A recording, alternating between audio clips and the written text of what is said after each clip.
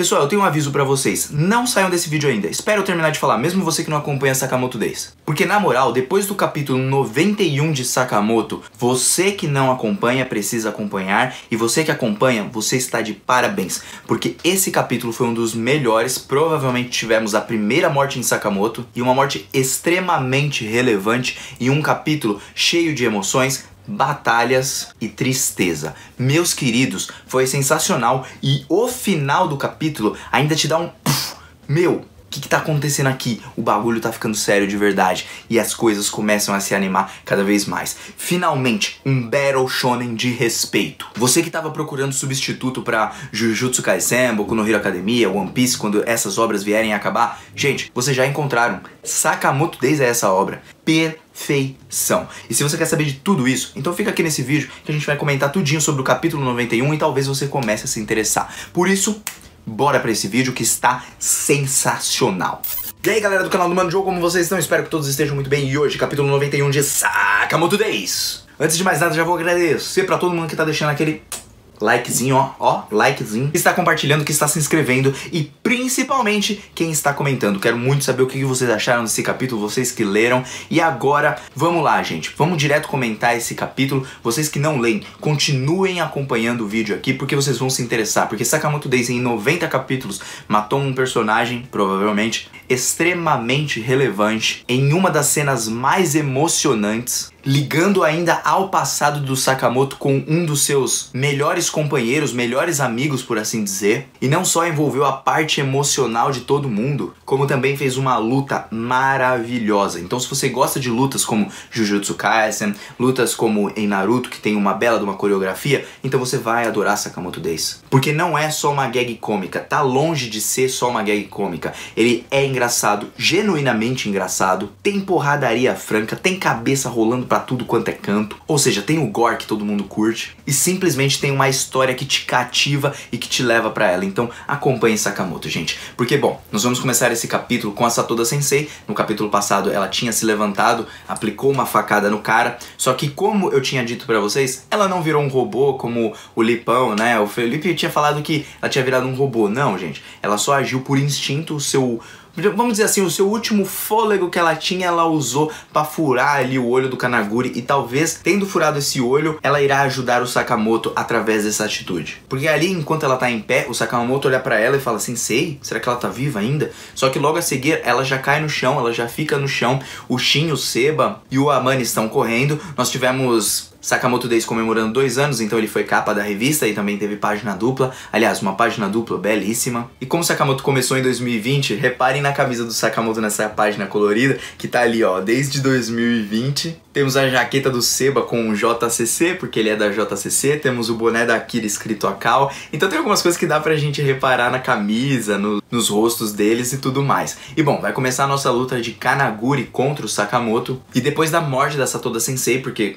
pela frase do Sakamoto ela realmente morreu, porque ele fala assim, é, deixa tudo com a gente agora, a Satoda Sensei, né? Porque ela cai ali no chão e provavelmente ela realmente morreu. Foi, foi uma morte triste, cara, foi uma morte emocionante. O autor não quebrou o nosso sentimento trazendo ela de volta à vida, nem nada do tipo, ou ela está respirando ainda, sabe? Então achei bem legal, ele conseguiu concluir o que tinha passado no capítulo passado para esse, não tirou aquela emoção da gente, tipo, ah, ninguém morre em Sakamoto, ah, nada acontece em Sakamoto. E outra, foi uma morte considerável. E a Akira, ela tá tipo, estática. Ela tá pensando, mano, como assim? Como assim a Arion acabou morrendo? Aí o Sakamoto vai tentar falar com ela e ela pergunta: Você sabia sobre minha, minha tia? E aí o Sakamoto fala: é, eu, não, eu não podia te contar, eu prometi pra Rion. Então, gente, é aquilo que eu tava falando lá atrás. O Sakamoto, quando ele se encontrou com o Slur e eles se enfrentaram no passado, provavelmente ele matou a Arion. A Arion pediu para não contar pra Akira, porque ela sabia como ela iria reagir. E é aí, nesse momento, que o Sakamoto ele sente muito, né? Ele fala assim: Poxa, mano eu sinto muito. E essa parte doeu no peito porque ela tá descobrindo agora e ela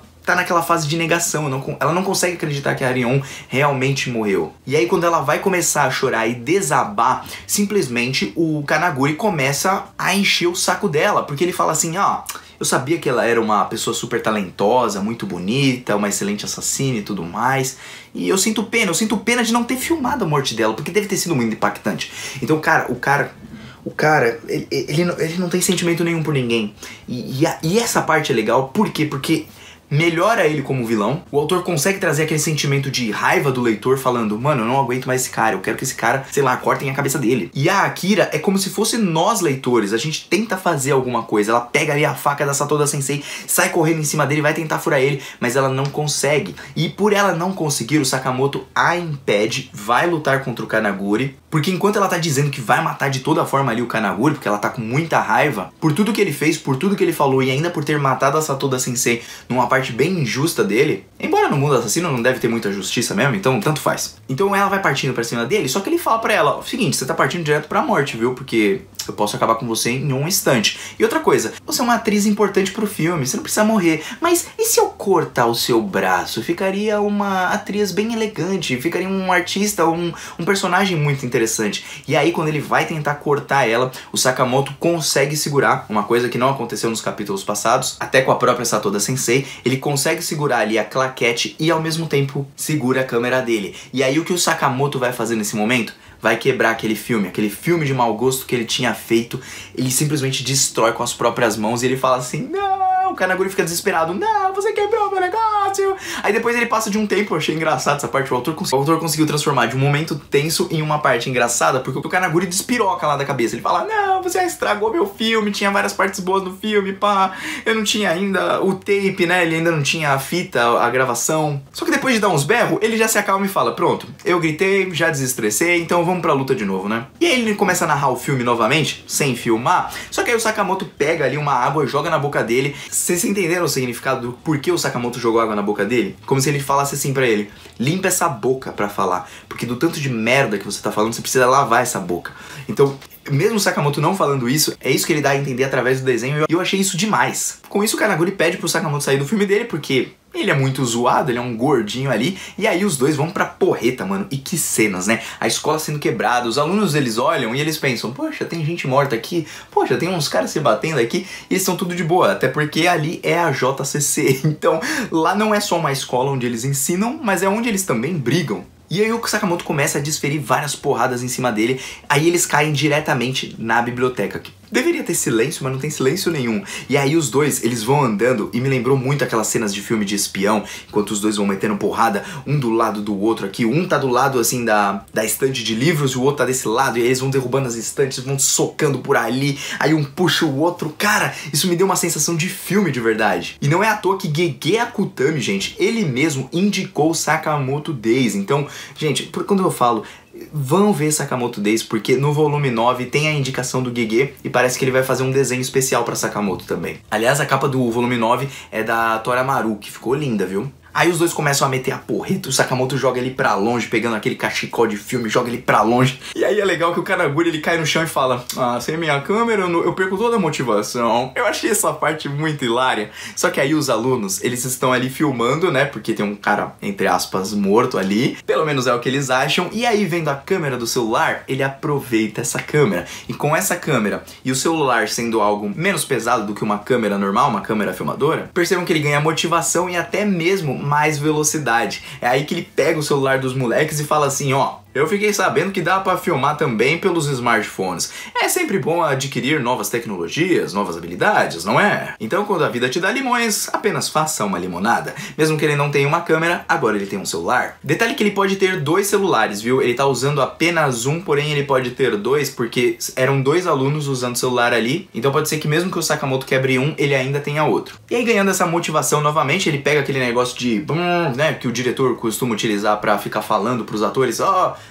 errado, take, não sei o que, papapá, e bate no Sakamoto falando assim, ó, isso daqui é uma péssima composição, né? Sai daqui, o seu filme tá uma merda. Joga o Sakamoto pra longe e a luta vai ficando cada vez mais insana, porque o Kanaguri pega e fala assim, meus queridos, eu criei um monte de storyboards, aqui tá uma beleza. E aí ele começa a bater no Sakamoto, os dois começam na trocação, o Sakamoto começa a apanhar mais do Kanaguri, o Sakamoto percebe que ele tá sendo mais rápido e uma parte interessante também, gente, é que quando o Kanaguri fala assim, zoom, quando ele vai fazer o zoom com o celular, ele usa o celular para dar um zoom, pra aproximar. Então, acerta na cara do Sakamoto, joga o Sakamoto longe, quebra o óculos dele. E aí ele diz pro Sakamoto que se ele quiser fazer parte do filme dele de verdade, ele deveria perder peso. Até porque pessoas com aparências como a dele deixam a audiência desconfortável. E isso apenas distrai o filme e você acaba não reparando muito no filme. E é então que ele pediu e o Sakamoto emagreceu de novo. Depois de muito tempo, a gente vê o Sakamoto emagrecer de novo, bater no Kanaguri e dizer ainda as seguintes palavras para ele: que não importa o quão boa seja a cinematografia, se o script, se o roteiro do filme é uma merda,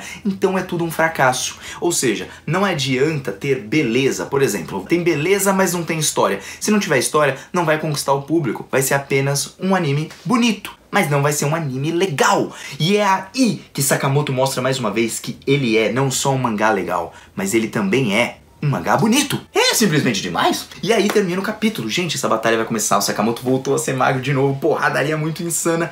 E, gente, me emocionei me emocionei com esse capítulo, foi muito bonito a parte da Akira, foi tocante, é, a Satoda Sensei caindo no chão, tudo que tá acontecendo, o Shin, o Seba e o Ayame provavelmente vão enfrentar o Club Jam, e nós podemos ter mais pessoas ali do Slur infiltradas na JCC, então se preparem, porque provavelmente o Clube Jam vai encontrar o Zelador. E talvez o Zelador, por ser mais velho, ele pode ainda ser forte, mas por ser mais velho, ele vai ficar igual a Satoda Sensei, ele tá fora de prática há muito tempo. Então, quem vai ter que lidar com ele de verdade vai ser o Shin, o Ayami e o Seba. Enquanto Akira e o Sakamoto vão lutar contra o Kanaguri. E, gente, que vilão é esse Kanaguri, cara? Ele consegue me impressionar do, do quão bom ele é como vilão. Você consegue criar raiva mesmo do personagem. Ele não é um personagem que você acha chato, um vilão. Ah, esse vilão é batido, tomara que acabe logo com ele. Não. Você torce de verdade, você tem raiva dele. E o autor consegue criar esse ambiente a partir também da morte da Sasuda Sensei, que é uma morte importante, e também da revelação da morte da Arion Akao, que foi exterminada pelo Slur. E é aí que vai o detalhe, no passado do Sakamoto, ele e Arion provavelmente lutaram contra o Slur, ou eles se encontraram depois do Slur matar a Rion. Como eu não sei, talvez ele tenha ameaçado a própria Akira, e por isso a Rion foi lutar contra ele, porque ele já fez isso com o Sakamoto, então eu não duvido nada que ele tenha feito da mesma forma no passado. E foi isso que aconteceu, a Rion deve ter avisado ali no último momento assim da batalha, quando o Sakamoto chega, que é dito que o Sakamoto achou que tinha matado o Slur, que o Slur tinha morrido, mas ele não morreu, e aí aí Arion fala pra ele, ó, não conta pra Akira que eu morri, né? Porque senão ela vai ficar muito mal. E aí é uma parte triste da personagem, eu gostei demais, cara. O, o, autor ele conseguiu fazer um drama, conseguiu matar um personagem importante, conseguiu trazer uma luta legal, conseguiu criar um vilão sensacional. O Slur é muito bom como vilão. Ele consegue criar outros sub-vilões ali, né? Vamos falar assim, uns, uns vilões mais de outros lados ali, que são capachos ali do Slur, como o Kanaguri, para deixar de uma forma interessante. Então essa obra é maravilhosa, gente, é maravilhosa. Você não fica escalando muito poder, você também fica interessado também na história e no passado do Sakamoto, tudo que aconteceu, o que pode acontecer. Então, gente, demais, demais. Foi simplesmente sensacional. E ainda tem o plot twist do Amani com o Yotsumura, que é o cara que era da ordem e saiu e está, entre aspas, ao lado do Slur. Pelo menos eu acredito que ele esteja ao lado do Slur para tentar chegar no Slur e matar de vez ele. Gente, aconteceu muita, muita coisa da hora, muita coisa da hora mesmo. Gostaria muito de saber o que, o que vocês estão achando de Sakamoto Days, porque tá sensacional. Esse capítulo ah, foi demais, mano. Nossa, eu tô curtindo muito Sakamoto Days, cara. Vou comprar o mangá quando sair aqui no Brasil pela Panini. Eu tô esperando sair o primeiro volume para comprar na Amazon com descontinho maroto. E essa essa obra valeu cada segundo, gente. Eu lembro que eu comecei a ler desde o primeiro capítulo, pra vocês terem uma noção. Então é legal de ver toda a construção, todo o fandom crescendo, que vai crescer cada vez mais, principalmente quando tiver anime. Então, esse foi o capítulo, gostaria de saber a opinião e teorias de vocês. Mano, o jogo tá indo nessa, até uma próxima. Fui, valeu.